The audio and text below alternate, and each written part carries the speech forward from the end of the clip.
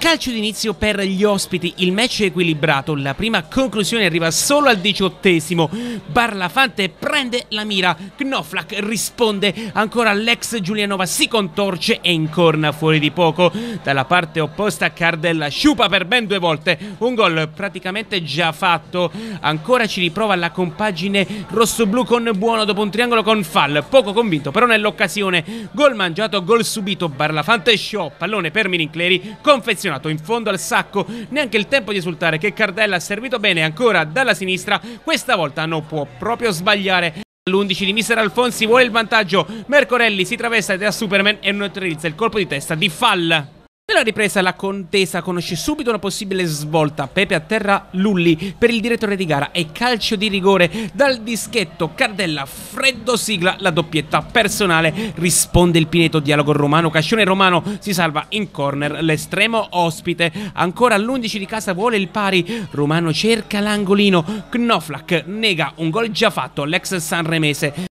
Il neoentrato Piccioni su invito di Cascione sfiora il clamoroso 2 a 2, cresce l'intensità del Pineto della quercia, Barlafante in spaccata e pallone per millimetri sul fondo. Nel finale Romano sale in cielo ma non inquadra il bersaglio grosso, termina dunque 1 a 2 con i rossoblù che volano ai playoff. Il Pineto conclude invece al sesto posto.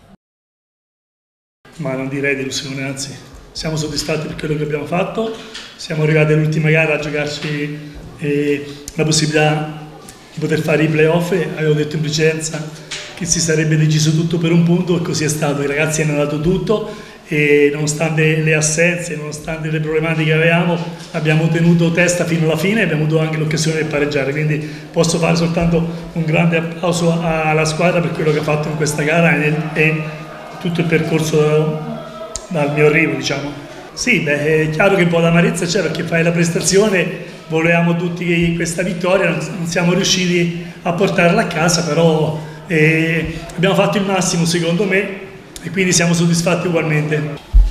Personalmente, come ho sempre fatto, come avete visto, raramente penso che due, in questo caso tre presidenti, con tutto il rispetto, io sono quello più piccolo in tutti i sensi, stanno insieme, ringrazio Silvio per avermi accolto, tutta la famiglia del Pineto. L'unica cosa che mi è dispiaciuto è che ce la siamo giocata noi contro loro. E sarebbe la cosa che mi faceva più felice se sia io che Silvio potevamo fare i playoff e magari giocarsela una bella finale a Riviera. Questa sarebbe stata una bella cosa, visto anche i rapporti. Sì, commosso, è stata una partita chiaramente vissuta sull'emozione, il rigore non l'ho visto, non avevo la forza di vederlo, anche perché all'andata lo sbagliammo, dunque cioè avevo que, quella, que, quella foto, dunque ho preferito non vederlo. Sì, sono commosso perché poi tu lo sai perfettamente quello che ci è successo, come siamo partiti.